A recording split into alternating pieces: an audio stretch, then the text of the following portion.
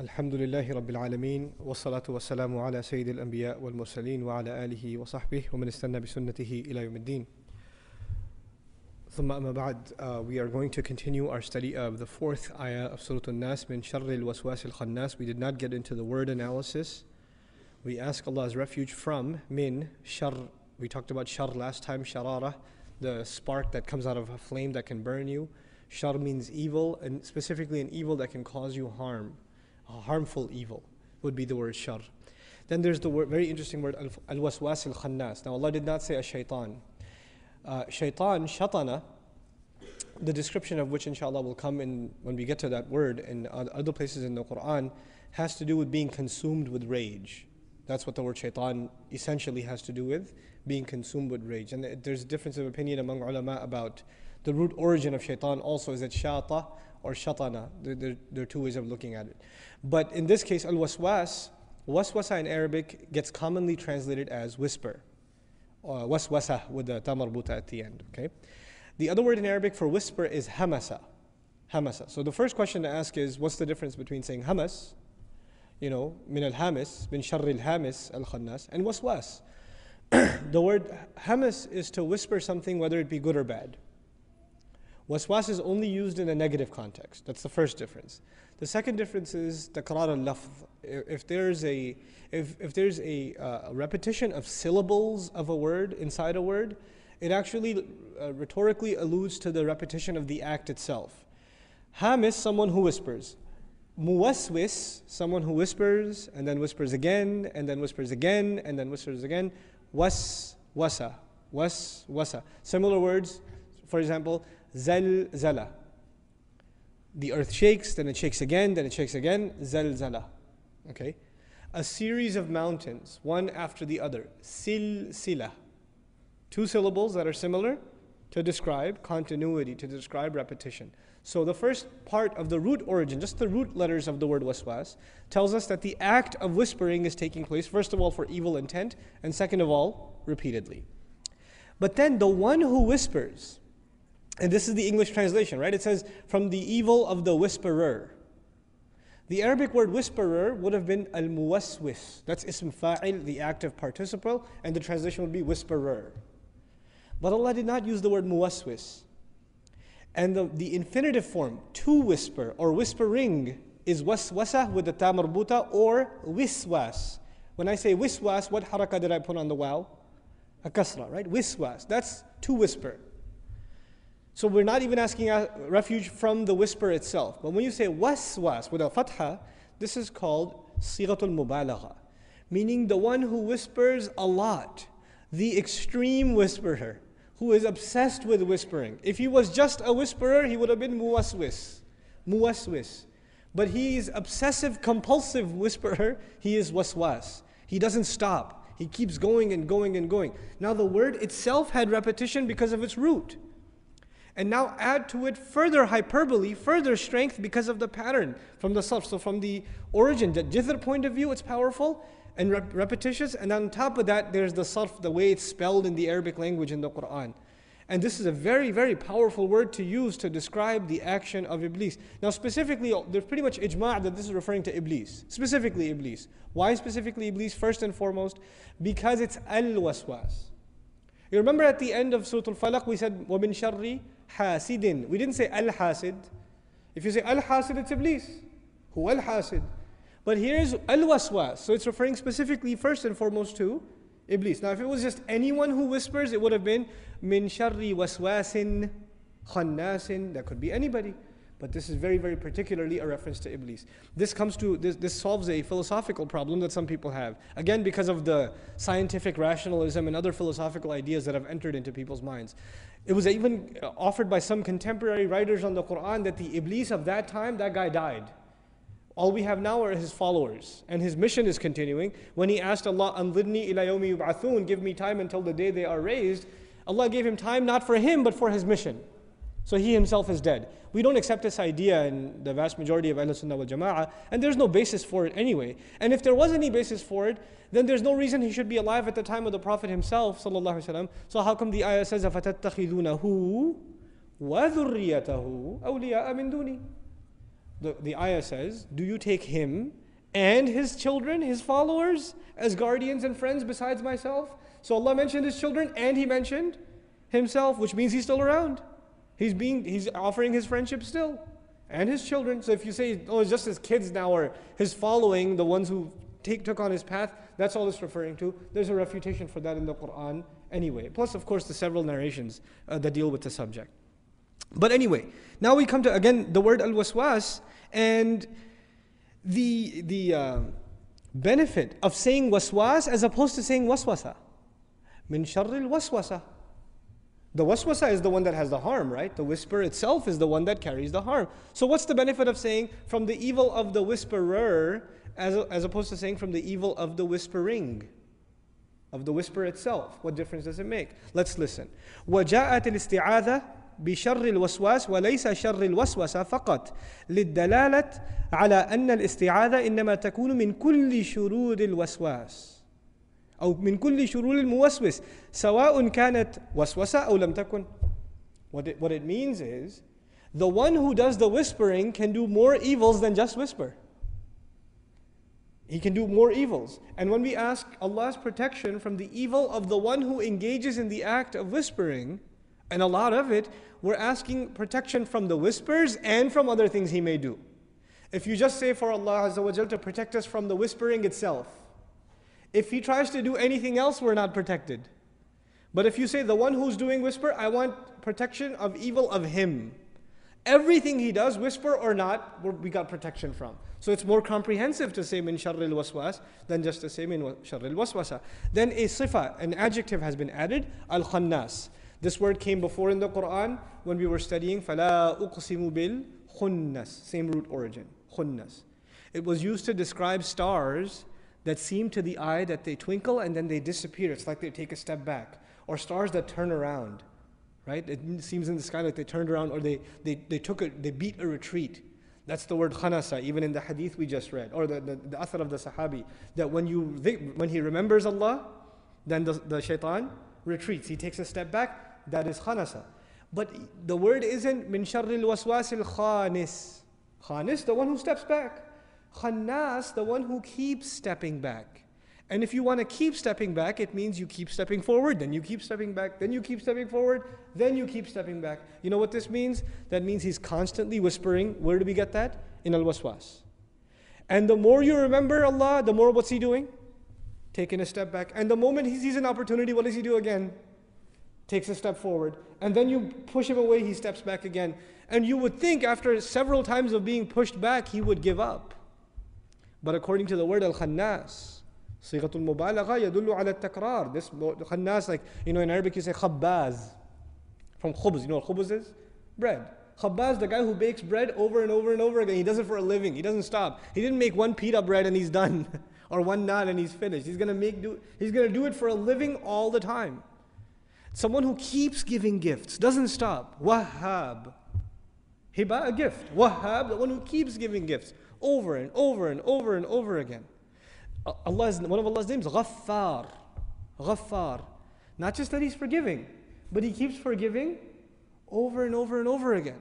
This is a repetition in the word. So we say Khannas. He keeps coming back. He keeps coming back. Remember, I was saying, saying to you before, unofficially, He doesn't quit. The word we know where He doesn't quit but he does take a retreat, is the word khannas. So his offense is al waswas, his defense is al khannas. He's got bo- we got both sides of the picture of Iblis inside these two words. Min sharr al waswasi al khannas. Here also we should mention something, uh, the contrast. The surah began with us expressing our humility, and we ask protection from the one who is the most arrogant. So our humility is being contrasted with the arrogance of Iblis. The other thing that's important to note here is remember we said the summary of Quran to accept yourself a slave? Now listen to this amazing ayah about protecting yourself from Iblis. Allah says, Inna ibadi laysa laka alayhim sultan. Inna ibadi laysa laka alayhim sultan. No doubt about it, my slaves, the ones who accept themselves as my slaves, you will have no authority over them. Your authority will die from the moment they accept my slavery. What was the first thing we said in this surah? قُلْ أَعُوذُ بِرَبِّ And if he's Rabb, إن كان ربا فنحن what are we then? We're ibad. We become slaves. If you truly accept Allah's slavery, that in and of itself is a protection from shaitan. To act as Allah's slave, to live as Allah's slave, is a protection of shaitan. If you notice the people nowadays, you know, the issue of possession, the issue of psychological problems, depression, this and that, this does not happen to people that truly obey Allah. You, it happens to people party all the time, they're blasting music in the car all the time, you know, they're just, you know, living it up or whatever. And they don't care what they look at, they don't care how to clean themselves. You know, even though this is not, it's not like a life and death issue, but it's an important issue in the deen to clean yourself properly, to have tahara, you know. And one of the people, you know, they don't, they don't clean themselves properly after they go to the bathroom. They have najas on their clothes. They come and make salah in the masjid. I'm not going to go as far as saying it's kufr, but you're inviting shayateen. Open invitation. Not just vacancy, free rent. Come on in, you know. And we, we have these kinds of problems in our community. You know, our, our children, we don't teach them. We don't teach them these simple things. Inshallah ta'ala, when it comes to the sihr and things like that, we'll probably have, I'll have Sheikh Abdul Nasser do a long session on precautions that we have to do. But one of the easiest precautions is not just cleansing of the heart, but even cleansing of the body. We're supposed to be in a state of wudu. There's a reason. The Messenger of Allah, وسلم, before he went to sleep, he would recite these surahs, but, and he would also be in a state of wudu.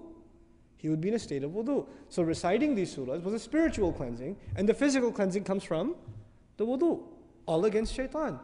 You know, our kids, we don't think twice if they're standing up and urinating. You know, masajid, look at the bathrooms I go across the country in masajid. I mean, airports have cleaner bathrooms, and that's saying a lot. That's saying a lot. You know, our kids don't know. We don't tell them the importance of these things. And then when they are, you know, they're, they're obsessively, like, they're constantly, constantly angry.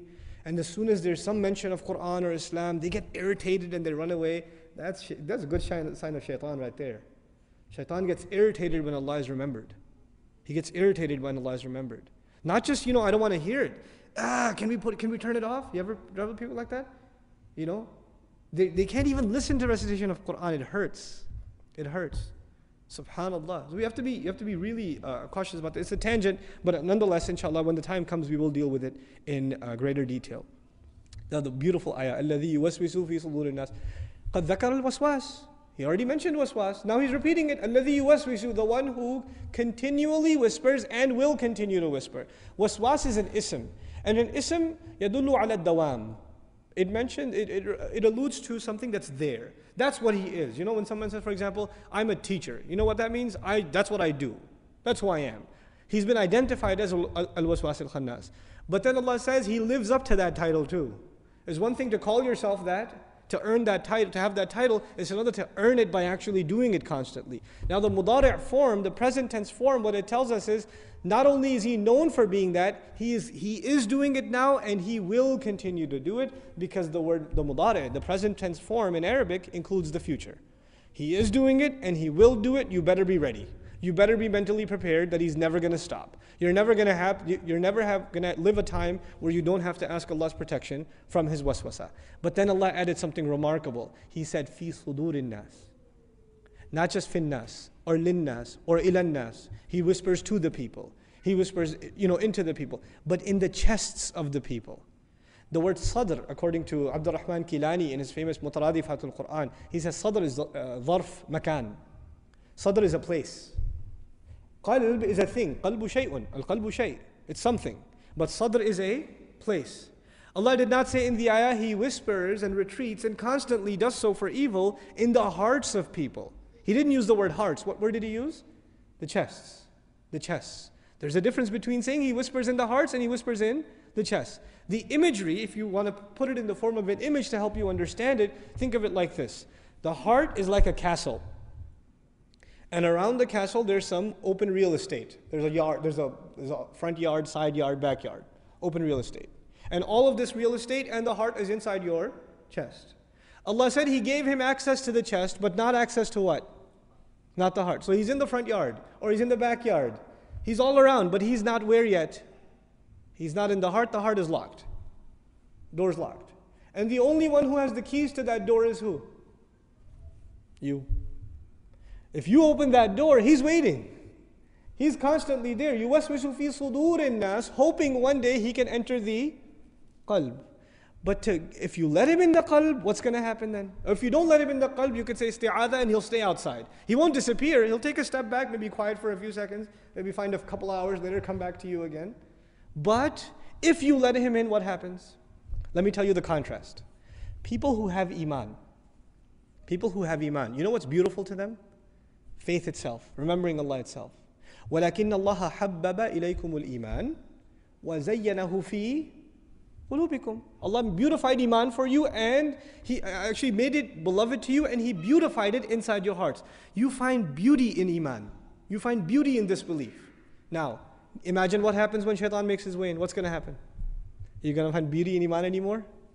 No. You'll find beauty in something else. So Allah says, وَزَيَّنَ لَهُمُ الشَّيْطَانُ أَعْمَالَهُم When shaitan makes his way into your heart, evil deeds start looking beautiful. They start looking tempting. They start looking good. If the remembrance of Allah is in your heart, evil deeds will look ugly. They will وَكَرَّهَ إِلَيْكُمُ الْكُفْرُ وَالْفُسُوقُ وَالْعِصْيَانِ Allah made disbelief and corruption and disobedience disgusting to you. If you have iman in your heart, those things look disgusting. You're not even tempted. You could drive by a club and say, Astaghfirullah, la hawla wa la quwwata illa billah. What a, waste of, what, a, what a waste of humanity. What a disgrace to the, the son of Adam. And he was honored with such intellect, and what worse life than animals they live. You would spit at it. But if shaitan made his way, his way in, you're like, hey, well, I'll just pull over for a little while. Now it's starting to look beautiful. This is the difference between the one who's let him in and the one who hasn't let him in. Where do we stand? When we see something evil, are we tempted by it? Are we disgusted by it? Tells us how much we're remembering Allah, what the state of Iman is. If Iman is beautified, disbelief, kufr, corruption will look evil. And if shaitan has finally found an entrance, then the other way around. So Allah gave, is a mercy of Allah. He gave him access to the chest, but not access to the heart. That is our responsibility. That is our responsibility. May Allah give us the ability to protect our hearts. Min al jinnati wan nas, the last ayah. It seems like it's a very simple ayah, but there's actually quite a few complications that are talked about in this ayah. First of all, there's the minor issue of taqdeem and ta'khir. Allah mentioned jinn first and nas second. In another place in the Quran, when it came to shayateen, he, meant, he mentioned human beings first and jinn second. Allah Azza wa Jalla says, وَكَذَلِكَ جَعَلْنَا لِكُلِّ نَبِيٍّ عَدُوًا شَيَاطِينَ الْإِنسِ وَالْجِنِّ So in the other place, when shayateen were mentioned, human shayateen, human devils were mentioned first, and jinn devils were mentioned second. But in this case, jinnah first and nas second. The context of the ayah, the, the previous ayah where human beings are mentioned first, is talking about enemies of prophets. And the animosity against the prophets from the get go is engaged in by human beings first. They are the ones who outright go out against the Messenger of Allah. But when it comes generally speaking, because the context of this surah is not animosity against prophets, it's the waswasa, whisper, who is better at whisper, the human being or the jinn? Who takes the primary role? The jinn. Also, the waswasa of the jinn, huwa al-asl, as the ulama comment. It is, the, it is original. In other words, if a human being is whispering something evil to you, it may or may not be his original idea. He may himself have plagiarized it from a shaitan, from a jinn to begin with. But when a jinn does waswasa, it is his own. It's his original. So the source is mentioned first, min al jinnah, and then the secondary, wan nas. And here we learn something else vehicles. Shaitan uses vehicles. This min al jinnah can be istikhdaman also. What that means is shayateen, uh, Iblis uses jinns and uses people to conduct his waswasa. He uses them to conduct his waswasa. So you know that waswasa of shaitan can come to you through your best friend. You hear his voice on the phone. You don't hear Iblis's voice, but you know what? He's at that point he's a puppet for Iblis. And he especially does this with kuffar, not as much with Muslims, but especially with kuffar. Young man is going to college, trying to guard his, his, his shame. He's a good looking guy, you know. He decides, man, these girls give me too much attention. I gotta grow a beard. Because you grow a beard, automatic girl deterrent, right? So he grows a beard. To, and by the way, I know I'm not gonna pass a fatwa on beard, but I tell the younger guys here if you're going to college, grow a beard. It'll save you from a lot of trouble. You're just going to look in the mirror and say, I'm going to go to a party looking like that. I look like I'm trying to imitate Allah's messenger, then I'm going to go to the party. You'll be ashamed of yourself. You won't be able to go. So protect yourself, grow a beard. It's a, I'm not giving you a fatwa. This is a psychological deterrent. You know? So anyways, this guy is growing a beard. He's trying to protect himself. He's, he keeps his eyes low. Shaitan doesn't come to him. You know what he does? He goes to this non-Muslim girl and says, hey, go talk to him. So she comes over. Did you do the assignment from last week? Innocent question because I think you're really smart. Uh oh, now it's starting to get a little dangerous. He'll come to him, for, and now if he starts giving it some thought, Then he opened the door, now he comes to him. You see that? He'll come, he'll use people like puppets to give waswasa to you. He'll use people like puppets. And now he doesn't even have to use people. Now he's got websites and TV channels that do it for him. He's got his work on DVD. You know? It just doesn't automated. He's you know, he, he could kick back and relax and watch, even though he doesn't ever kick back, like we said. But we facilitated this job for him through modern you know, mass media. Mass media can be used for great things, but for the most part it's being used for evil things. You know, for evil things. So this is, you know, min sharril al min al jinnati wan nas rather. They could be from the jinn and they could also be from the people. But the source is al waswas. And then these guys, these are being used. So they're in a secondary position. The, the complication is that the word nas, to, to help you with this next complication, this is a minority opinion, nonetheless a legitimate scholarly opinion, because it comes from Al-Farra, rahimahullah. It's a very powerful, because he's one of the great Arab linguists. In the Quran, Allah uses the word nafar. Nafar is usually used for a group of people. قُلْ أُوحِيَ إِلَيَّ أَنَّهُ اسْتَمَعَ نَفَرٌ مِنَ الْجِنِّ He uses the word nafar and says a group of people from among the jinn. Nafar typically in literature is not used for jinn, it's used for who? Human beings. But in the ayah now it was used for jinn. Another word, the word rijal. The word rijal is used men, obviously people or jinn. It's people. But we find in the Quran, وَأَنَّهُ كَانَ رِجَالٌ مِّنَ الْجِنِّ يعوذون برجال من رجال من الإنس يعوذون برجال من الجن There used to be men from among the human beings who sought refuge with men from among the jinn. So now rijal is being used for human beings and also for jinn. But the strange is just is actually a hadith or an other narration reported by Baghawi where they, the Sahaba report meeting a group of people that were very strange looking. So they said, Manil qawm, who are you guys? What, what nation you come from? So they said, Unasum min al jinn. Really interesting language. They said, We are people from the jinn. But what word did they use for themselves? The plural of nas, unas. Unas min al jinn. Now, to help you understand this in English, a group of scholars in minority say that the, the last phrase, min al jinnati wan nas, is actually an explanation of the word nas in the previous ayah. Alladhi yuwaswisu fi sudur nas, that last word nas, those nas can be from the people or from the jinn. Now this sounds confusing. Those who whisper in the hearts of people the hearts of people those people may be from human beings and the people may be from the jinn. The traditional explanation the majority explanation is the one who whispers can be from the jinn and the one who whispers can also be from the human beings. But they're saying, no, in addition, this could also mean the one who is whispered to, the one whose chest is entered, can be a jinn, and the one whose chest is entered can also be a human being, because they're saying the word nas can be used to refer comprehensively to a jinn also. So this, uh, this ayah is a protection not only for believing human beings, but it's also protection for believers from among the jinn. That's what, what's the suggestion. It's a minority opinion, but nonetheless, it has come up in conversation among several scholars. Zamakhshari commented and added something interesting to this discussion. He said that last word nas, الذي يوسوس في صدور الناس is missing a ya at the end. You know, the, the Quran says, يوم يدعو الداعي إلى شيء نكر. Da'i with a kasra. But the actual word is da'i with a ya at the end. It gets omitted. So he's saying, الذي يوسوس في صدور الناس The one who whispers in the chest of the forgetful one. If you add a ya, the meaning becomes the forgetful one. And in Arabic morphology, you can omit the ya. So he's saying that last time the word nas, the second last time nas was used, it's referring to one who is forgetful, and the forgetful one can be from the human beings, and the forgetful one can also be from the jinn. So that's the minority uh, position that is uh, talked about in regards to this ayah. Now we finally come to the conclusion of this surah. This surah is connected to two things, two surahs. On the one hand, it's connected deeply with Surah Al Falaq. We talked about that in the beginning.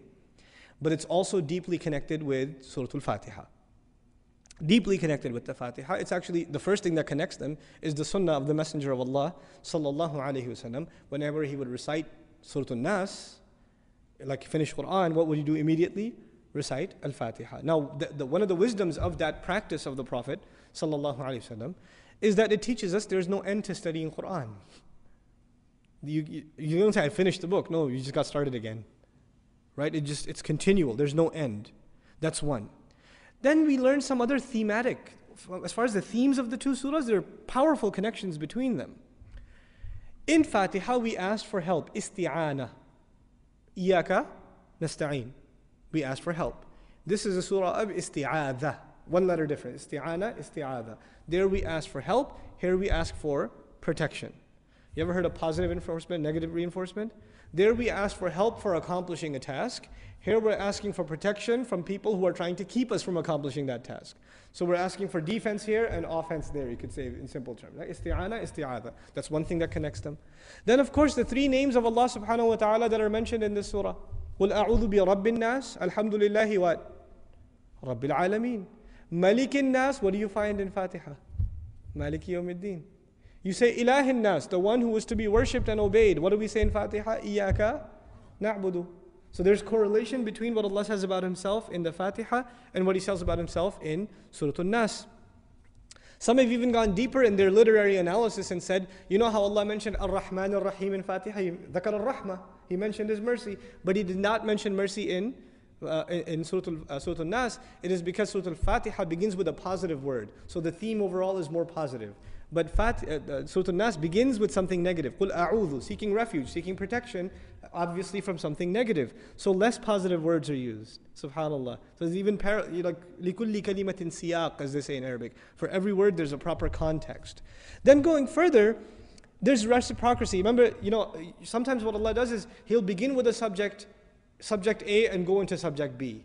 And to finish it off in another place, He'll start with B and end with A which is kind of like what happens here. This surah, eh, this surah began with asking for help, asking for protection. And Fatiha ends with asking for help. The conclusion of Fatiha is Ihdina Sirat al Mustaqim, and the rest of it is really one large sentence. So here we begin with asking, there we end with asking. So there's this reciprocal relationship. Another remarkable thing is the parallel between the singular and the plural. A'udhu, the verb used for us in this surah is singular, a'udhu. But the verb used for us in the Fatiha was plural.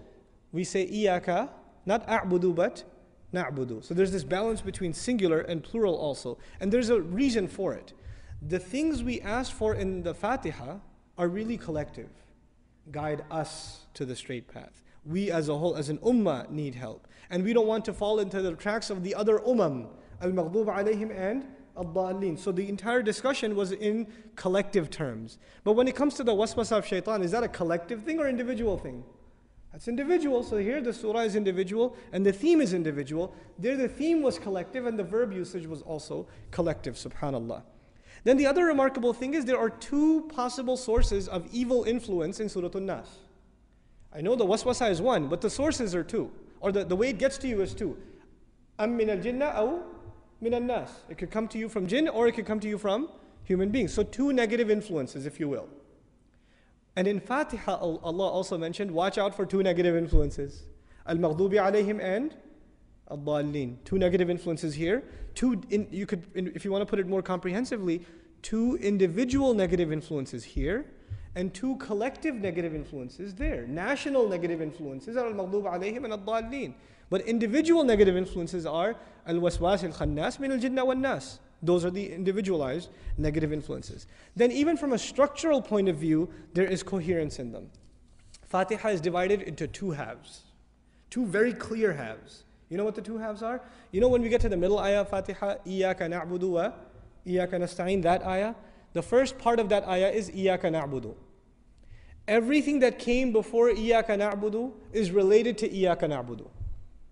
Alhamdulillahi Rabbil Alameen, Ar-Rahman Ar-Rahim, Maliki Yawmiddin. If you study those things, the only conclusion left is Iyaka na'budu. If you study the rest of the Fatiha, Ihdina Sirat al-Mustaqim, Sirat al-Ladina an'amta al-Maghdubi alayhim al all of that is tafsir of one phrase, Iyaka nasta'in. We ask Allah for help. What help? Guidance, keep us away from this path, keep away from that path, put us on the straight path, etc., etc. So half of it is for Iyaka na'budu and the other half is for Iyaka nasta'in, two equal halves. Surah An-Nas has its own unique halves. One half al-musta'adh bihi, the other half al-musta'adh minhu. Three ayat are about the one you're seeking protection uh, of. Three ayat are the one you're seeking protection from. قُلْ أَعُوذُ بِرَبِّ النَّاسِ مَلِكِ النَّاسِ إِلَهِ النَّاسِ Three. And then who are you seeking protection from? الذي يوسوس في صدور الناس. Uh, actually, من شر الوسواس الخناس الذي يوسوس في صدور الناس من الجنة والناس. Three and three. So they're both divided into two very distinguishable halves, subhanallah. But the most important part, which I'm going to conclude with, it'll take me 10 minutes or less, inshallah, is this. Allah told us to seek refuge whenever we recite Quran. The Quran also ends with the, the telling the human being to seek refuge, and primarily from who the ultimate enemy, the, the most jealous of us, a shaitan. And the reason we are on the earth to begin with originates from a waswasa of shaitan. Adam alayhi salam. The waswasa of shaitan got us here to begin with. And the entire struggle against human beings and the shayateen, that struggle that exists to this day, the battle between kufr and Islam that exists to this day, starts with a waswasa of shaitan. It starts with the waswasa he gave Adam alayhi salam. That's where this, this conflict, this war began. Now, we learn some things about this waswasa. I'm going to share with you a passage. By the way, the story of Adam alayhi is so important, it's mentioned in the Quran seven different places. Seven different places.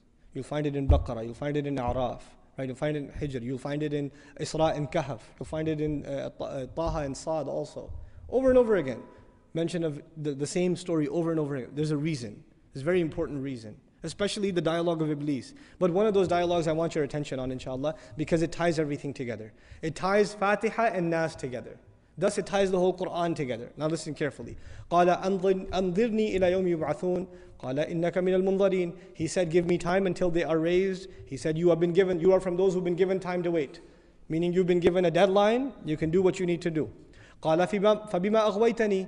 He said, Because of what you, because of the way you got me expelled, لأقعدن لهم صراطك المستقيم. I will sit for them waiting where? On your straight path. Which surah mentions the straight path? Fatiha. We're asking Allah to protect us from Iblis because he is on a mission to get us off the path mentioned in Fatiha. Fatiha is the straight path and he hates the straight path, he wants us off of it. Then in the same passage, وَلَا تَجِدُ أَكْثَرُهُمْ شَاكِرِينَ أكثرهم rather shakirin. You will not find most of them grateful. Where did Fatiha begin? He Iblis said you won't find them being grateful. And Allah, the first thing He teaches us in Quran is what? Alhamdulillah, to be grateful. Hamd includes shukr and thana. And He says you won't find most of them truly grateful. Then in the same passage, فَوَسْوَسَ لَهُمَا Waswasa. Same word again. This same passage in Araf.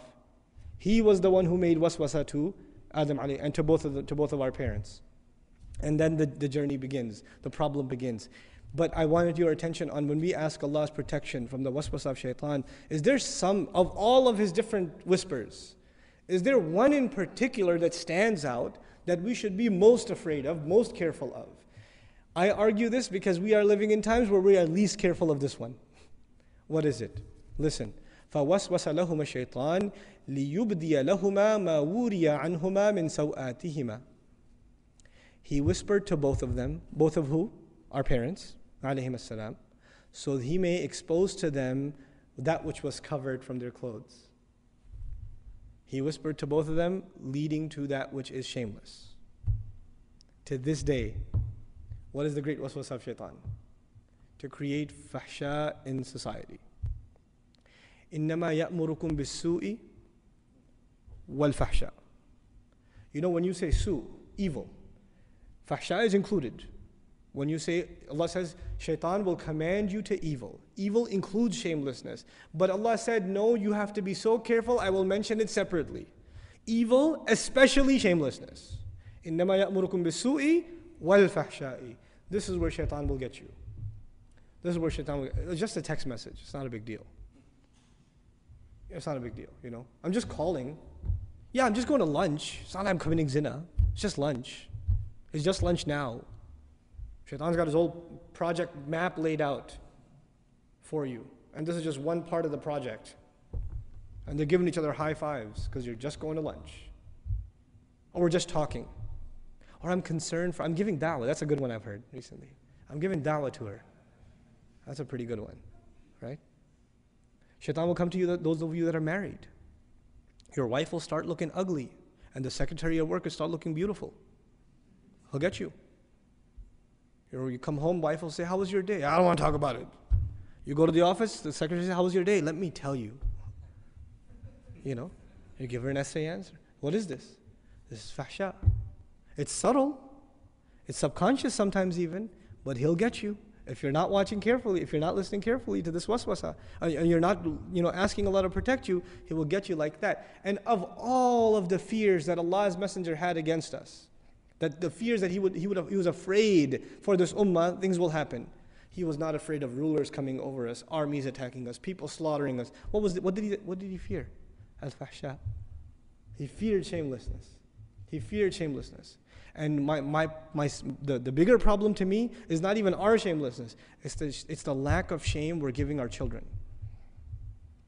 They're watching like Disney garbage and like, you know, uh, what, what used to be PG, uh, you know, what used to be PG 13 is now PG. You know, the ratings are going down. It's becoming more and more shameless. And our kids are just watching it.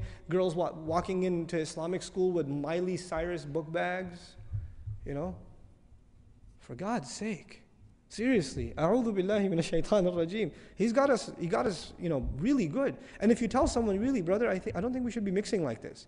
I don't think this is how you do a wedding. I think we should separate the two genders. Because really, we're inviting shaitan as also an uninvited guest. Might as well print a business, print an invitation card for him too, if you're going to do it like that. And people say, don't be crazy, you're being extreme. You're being extreme. And then also, they'll, you know what else they'll say? They'll say, listen, are you saying that just because I'm, you know, talking to a sister, that necessarily shaitan is going to come and get me? Yeah, that's what I'm saying. No, no, I'm not that desperate. The guy will say, I'm not that desperate. Listen, I'm a guy too. We know what goes on in our head. We know how shaitan comes and attacks. He never stops. He never stops. Ever. So if you're going to come and tell me, no, it doesn't affect me, you are lying to me and yourself. You're not just lying to me. He will get us with this attack. The final thing I want to share with you about this beautiful surah is the Quran begins with dua. Ihdina sirat. This first surah began with dua. The Quran ends with dua. A'udhu bi nas. It's also asking Allah to enter ourselves into His protection. The beginning and ending is dua. The beginning of Quran, you seek Allah's protection from shaitan. فَإِذَا قَرَأْتَ الْقُرْآنَ فَاسْتَعِذْ بِاللَّهِ مِنَ الشَّيْطَانِ And at the end, you seek Allah's protection. That path that we need to walk on, on the, you know, the straight path that Allah has gifted us with, the greatest enemy to that path is Iblis himself, and he will try to get us off of it any way he can. If he can't get you intellectually, he will get you psychologically. If not psychologically, he'll get you emotionally. He'll get you like spiritually. He'll get you some way. He'll find some way. He's, all, he's always doing research. He's doing a PhD paper just on you and what you mess up with. And he knows what you're, every time you make a mistake, he knows what you tend to usually fall into sin. And he'll make sure he, you fall into those traps over and over again. The Quran begins and ends with dua. Don't underestimate the power of dua. In conclusion, I wanted the, the surah, the dars of the surah is done, alhamdulillah, and so is the study of Juz Amma. And at this point, I just wanted to uh, share with you some thoughts, inshallah ta'ala, and I'm, and I'm done. And that is this, this series began about a little over a year ago in Maryland. I decided to do a detailed study of Juz Amma for myself and just share what I'm studying with folks on a weekly basis. And we, you know, started recording these. We started putting podcasts online. A lot of people are actually listening that are going to be listening to this in the future, the recording itself. Um, I didn't realize what an impact this had. I, I really didn't realize. There are over 2,000, well over 2,000 subscribers on iTunes and I, I'm, i just came from Albany. I met four or five brothers that are in a study circle. They're like transcribing the whole lecture series. I met a group of sisters in California. There's a bunch of there's a sister in Bangladesh who's translating the whole thing into Bangla or something. It, was ridiculous. I, I didn't realize how much benefit this would have. But at the same time, that scares me. So uh, what I want to share with you is the following. The intention, inshallah ta'ala, between myself and my colleague, Sheikh Abdul Nasir, is to finish a study like this one of the entire Quran and make it available in the form of an audio library for people to benefit from.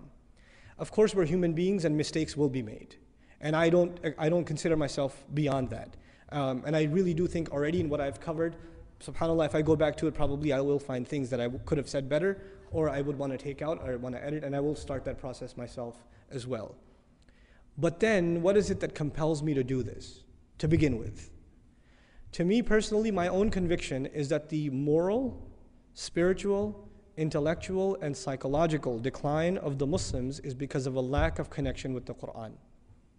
We're not connected to the Quran. We're supposed to be connected with the Quran in our salah. We're supposed to be connected with the Quran in our salah. Every time you make salah, you should be refreshed morally, spiritually, intellectually, psychologically. You're supposed to be revived. Even your conviction should be revived that this is Allah's word. And this is what He wants me to do.